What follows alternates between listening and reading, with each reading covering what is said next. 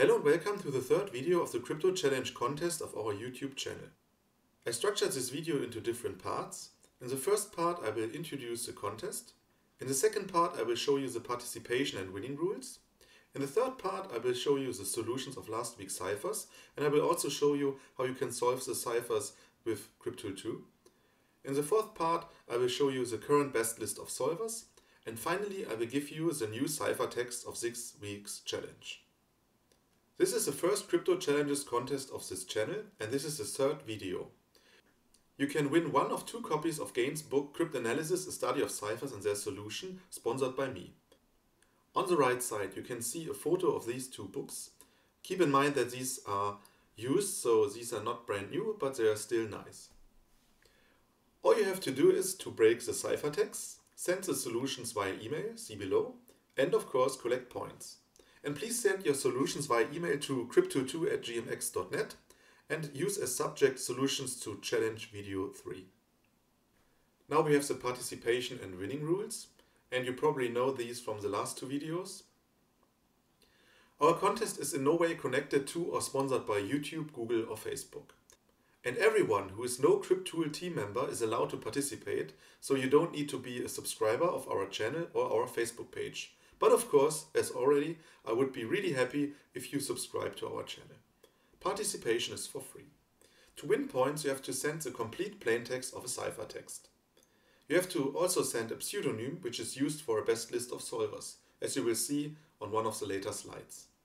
At the end of the contest, we will delete all personal data, meaning names and email addresses. The winners have to send their postal addresses, thus I'm able to send the books and the pseudonym will remain in the best list shown in my videos. And each solution of a ciphertext gives points. We have different difficulty levels from easy to hard. Easy gives you one point, easy medium gives you two points, medium gives you three points, and hard ciphertext give you five points. The solver on the first place of the best list will a copy of the Gaines book. And if there are multiple solvers on the first place, meaning that they have the same number of points, the winner will be chosen randomly from these. The second winner of a book will be selected randomly. But the more points you have, the higher the chance to win the second book. So everyone has a chance to win a book. The winners will be announced in the last of the challenge videos. I already said here, in the last videos I will make about 4 to 5 challenge videos, but I decided that I will make 4 videos, so in the next week you will get the last cipher videos with the last ciphertexts, and the week after that I will announce the winners and show you the final solutions of the next video. The contest started with the first video of the 14th of August 2020 and will last 4 weeks. Solutions of the last ciphertext are always shown in the next video about one week later. That means a solution may be sent only before the release of the next video. And of course, the basic idea of the contest is having fun with solving crypto challenges. Here I now show you the solutions of the last week's ciphertexts. And after that I show you how you could have solved these using Cryptool2. The solution of the first ciphertext is Freemasonry consists of fraternal organizations that trace their origins to the fraternities of stonemasons that regulated the qualifications of stonemasons.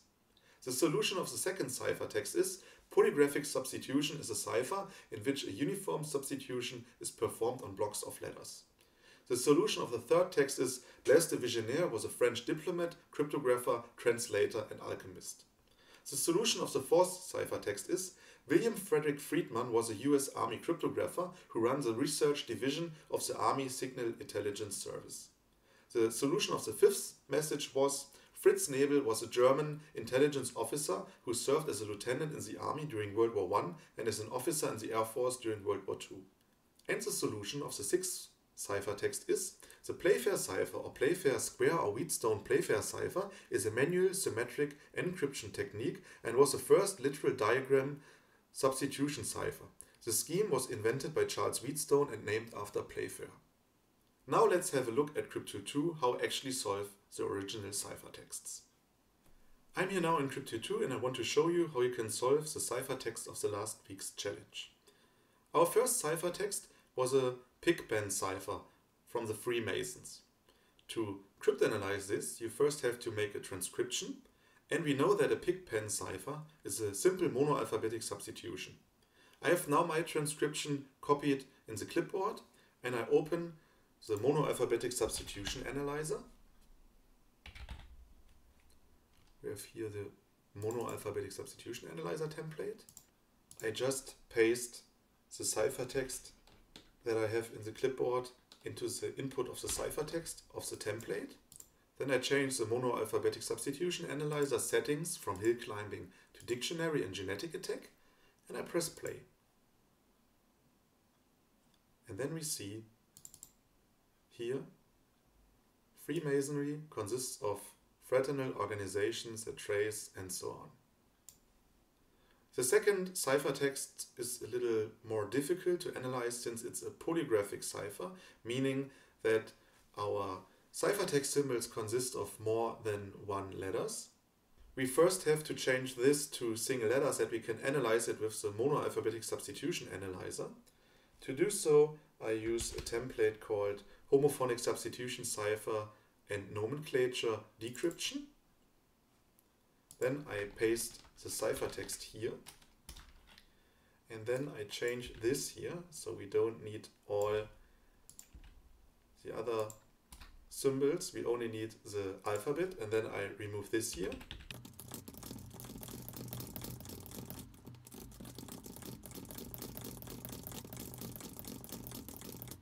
Now I press play. As you can see, we do not see anything. Since what is this here doing now? It replaces nothing with A, nothing with B, nothing with C, and so on. And it removes everything it doesn't know. And now I start to insert the ciphertext symbols here one by one to make, you can say, another transcription. So we have here 20, then we have 19, we have 11, and we can make easier when we use the substitution component here and say we don't want to remove unknown symbols, we want to leave them as is. Since then we see the symbols which we do not or did not yet replace by Latin letters. So the next one is 35, then we have 15 and so on. And I replace every single digraph with a Latin letter.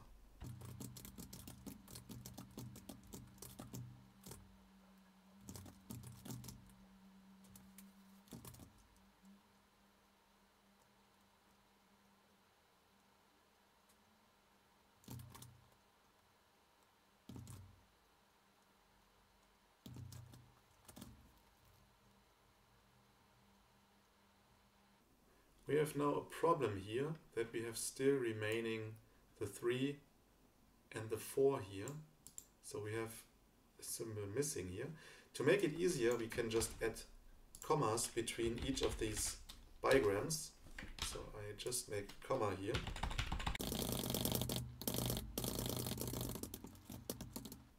And I replace the space by 0, 0.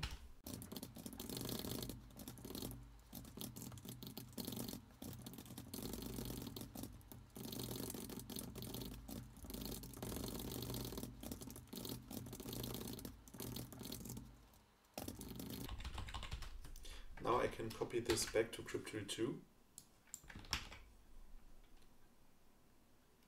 And then I can change here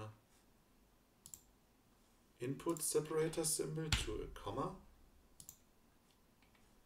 And then I can change here space is 0, 0. And now we see the 33 is missing.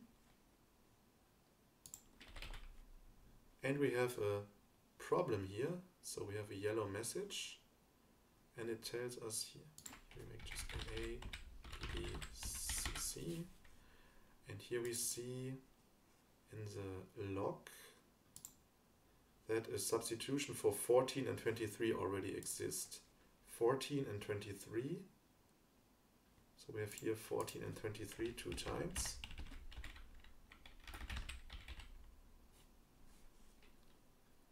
And now we have a nice transcription from bigrams here to single Latin letters.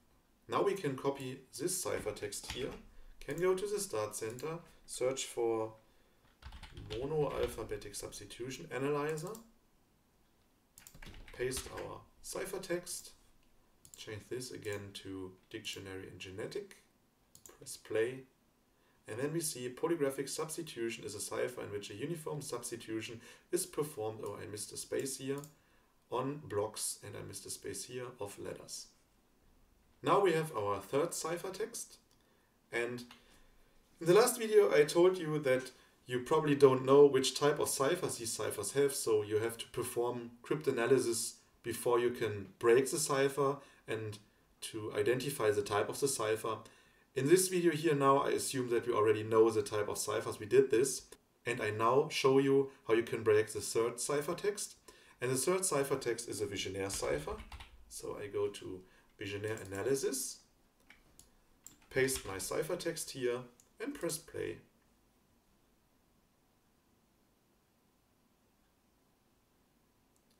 And then we see here, Blaise de Vigenère was a French diplomat, cryptographer, translator, and alchemist and the key is AutoKey cipher. I have now the fourth ciphertext, which seems to be a transposition cipher. So we open the transposition analyzer template and we use the transposition brute force analysis, paste our ciphertext,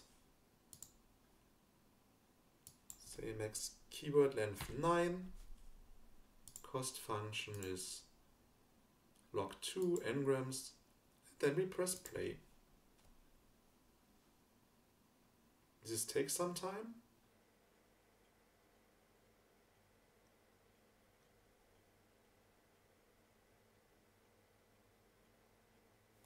And we see here, William Frederick Friedman was a US Army cryptographer who ran the research division of the Army Signal Intelligence Service.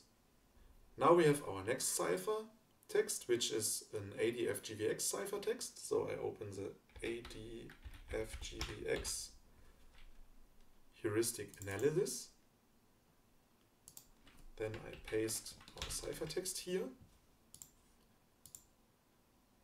I change the key length. So you don't know the key length here, so you have to test to find the correct key length. And I think the correct key length was 5. So let's give it a try. So we have here the ADFGVX analyzer, which analyzes our message. And I made a mistake here. So I shouldn't use German, I should use English. So restart it. So we have here the ADFGVX analyzer, which breaks the first part of the ADFGVX cipher, the transposition, and then we have the monoalphabetic substitution analyzer, who breaks the second part.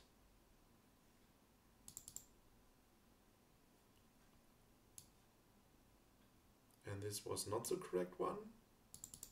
Let's test this one. It's also not correct. This one. Also have to change this here to English. Hill climbing and English. Let's try it again. First text.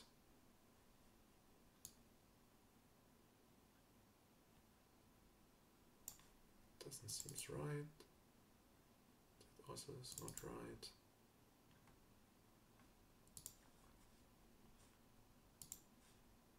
Let's try key length 6. Yeah, it was key length 6.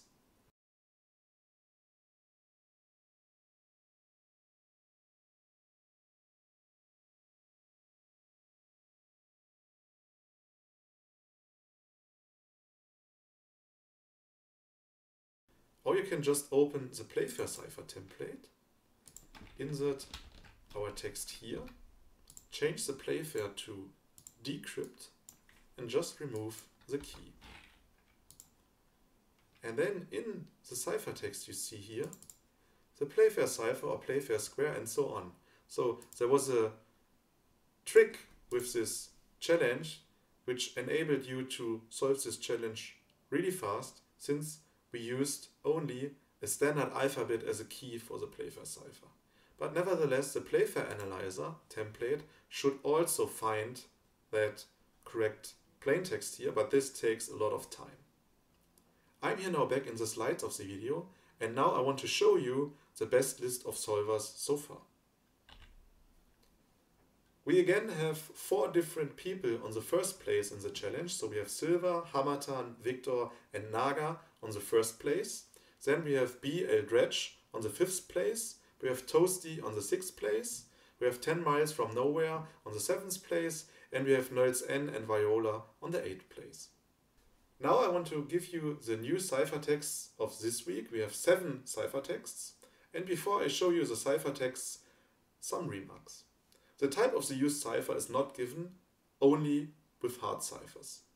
But of course, as always, the difficulty level is given. And you have to copy the ciphertext from the video, but the texts are so short that it's not too difficult tedious, and in the real world you also have to make a transcription on your own. The difficulty level will vary. In this video we have easy to hard difficulty. If we will have longer texts, I will provide transcriptions. In this video I will give you some of the ciphertexts in the description of this video. In the future, videos may also have some modern cryptology related challenges. This is not true for this challenges series, but maybe in the future I will make a new challenge series with modern ciphers. And this third video contains 7 ciphertexts, 1 easy, 1 easy medium, 3 medium and 2 hard. So you can gain this week a maximum of 22 points. And now I will show you each ciphertext 30 seconds. You can make a transcription on your own. And as always, thank you very much for watching. Thank you for participating in this contest. It's a lot of fun making these ciphertexts and it's cool that we have several people who solved these ciphertexts. And I wish everyone luck to win the book. And if you did not yet subscribe to our channel, I would be really happy if you do so. And if you like this video, please give a thumbs up.